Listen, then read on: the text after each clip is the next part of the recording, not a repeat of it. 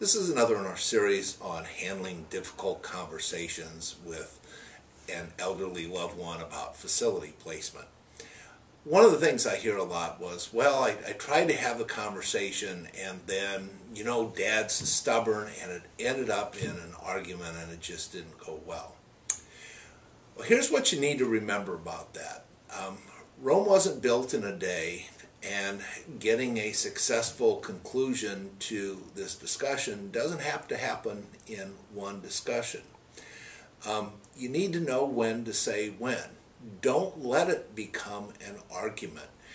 If the conversation gets to the point where you can see that it's headed downhill, where you can see that maybe you're losing a little bit of control, then just pause, smile, and say, you know what, Dad? We've talked about this enough for today. Here, let me give you a big hug and a kiss, and we can talk about it some more tomorrow. You know, it's really hard to hate your daughter or son when they've just told you that they love you and they've given you a big hug or a kiss. Um, another thing about that is a lot of times seniors just need a little bit of space. They, they're, they're not arguing whether you're right, is what they're really saying is, you know what?